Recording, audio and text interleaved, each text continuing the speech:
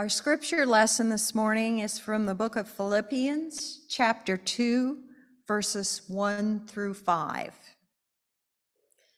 If our life in Christ means anything to you, if love or the spirit that we have in common or any tenderness or sympathy can persuade you at all, then be united in your convictions and united in your love with a common purpose and a common mind. That is the one thing that would make me completely happy. There must be no competition among you, no conceit, but everybody is to be humble. Value others over yourselves, each of you thinking of the interests of others before your own. Your attitude must be the same as that of Christ Jesus.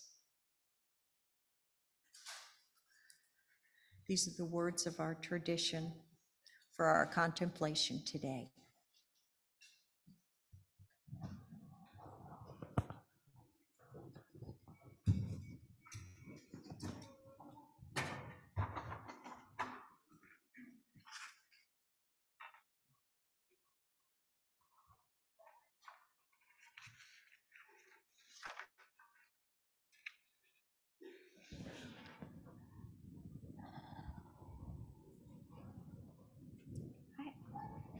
So about a month or two ago, Babs said to me, "You want to do a dialogue sermon?"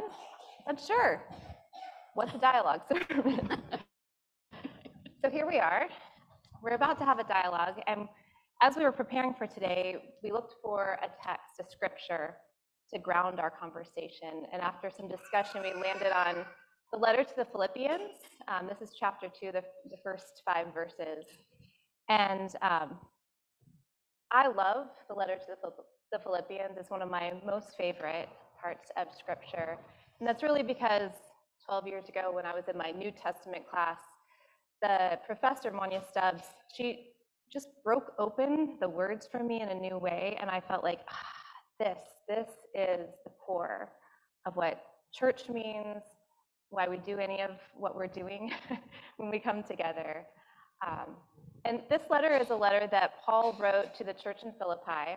And Paul was imprisoned in Rome when he wrote the letter. And this is a church that Paul helped to found. Um, and it's a church for all, you know, what we can tell, it's doing well. Um, there's a little bit of conflict arising, and Paul just wants to see the church continue to grow in love um, and be that manifestation of love in the world. And so Paul is writing this to encourage the Philippians to unity. Uh, yeah, and when he talks about uh, make my joy complete to be of the same mind, I think I can't even be of the same mind in one day of myself. Yeah. How in the world are we yeah. going to do this as a group of people? And then as you look at that scripture, you realize that what what he's really talking about is being of the same purpose, the same intent in what we do and say and how we live out our life. And that's a very different challenge. Uh, that's a, a, that's a bigger challenge to me than than just me trying to be of one mind. Yeah, we're not being asked to conform to the same thinking, the same thoughts about God, even or even to the same to ascending to sort of truth claims. We're we're talking about something more fundamental. Absolutely. Yeah. Uh, it's at the core, it's really at the core of what the church should be mm-hmm. and what the church should be about because it's about doing things with a loving intention rather than doing things to make me look better or to just get a job done. It's, it's not that. It's that everything that we do contributes to making the world a better place for everyone if what we are doing is being done out of love.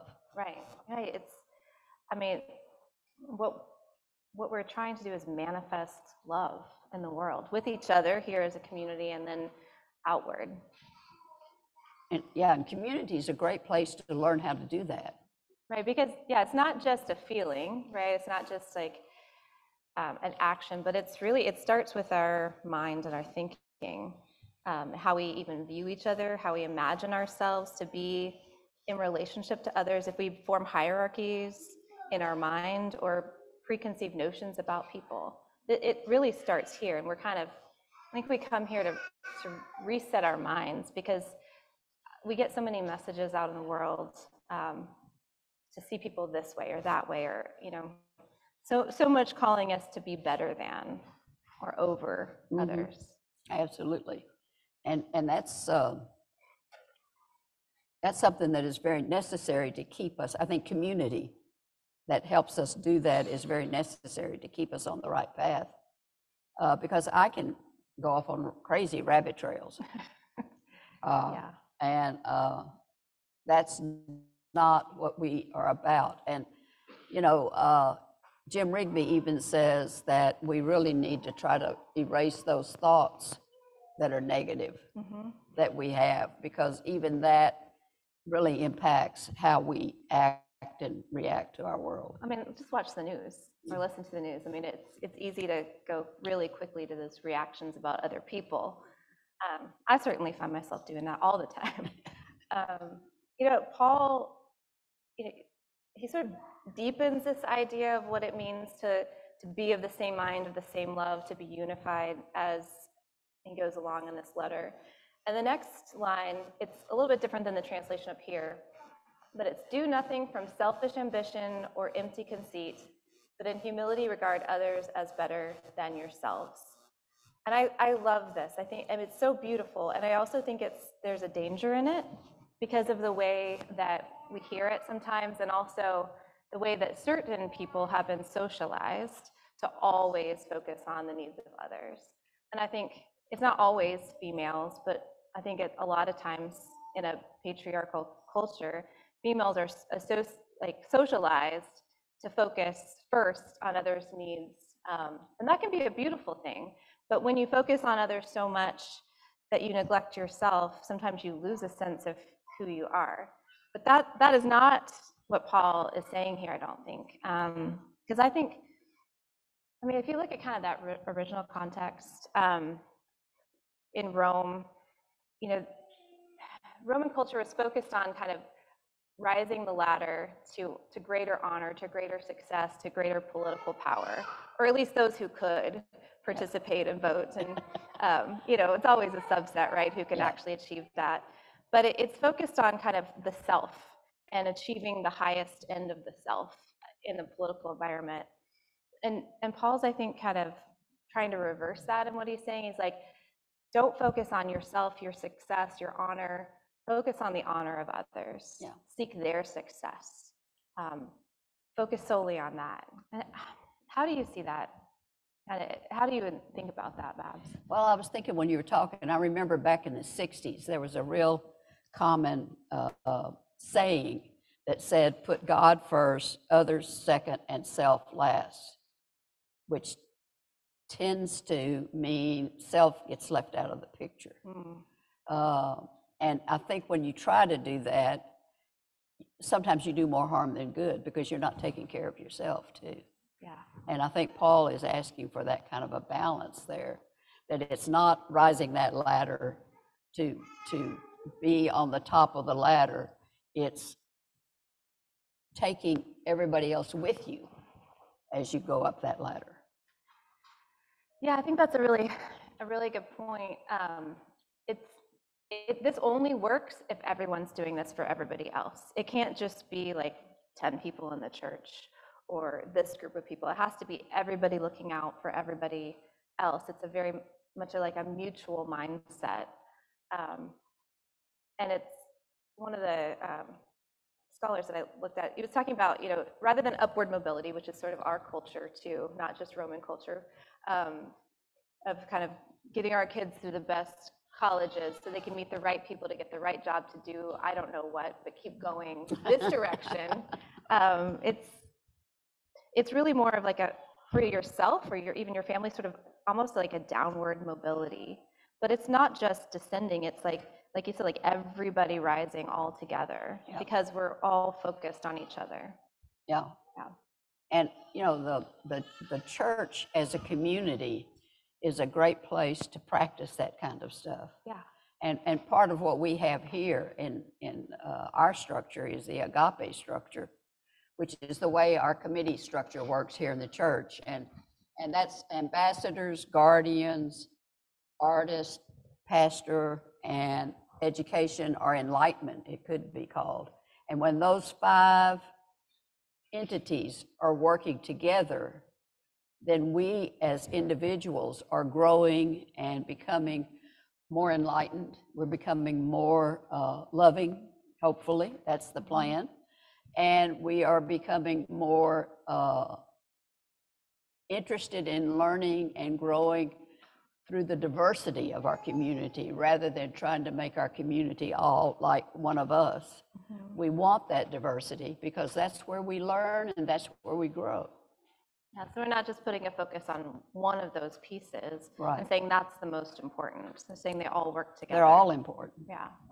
uh, absolutely. Well, the, the third, um, the third line in this uh, letter, this piece of Paul's letter, says, this is the New Revised Version, um, let each of you look not to your own interests, but to the interests of others. And it, the Greek here is, it's skopeo, it's like really closely looking, kind of really seeing, really taking time and intention to look to the interests of others, which is really, I think, means like the qualities of others, but even more so like how how the divine, how divine radical love is manifesting as in each other's lives. It's like we're kind of like detectives for that in each other, not in a creepy way, but you know, like we're really kind of looking Well, for God in others. And, well, and I think it's, and I think it's acknowledging to others that we see that, Mhm. which helps us, you know, when people acknowledge that something we've done speaks out of love and is good, that helps, uh, that helps me to do that again Yeah. And to grow in that ability.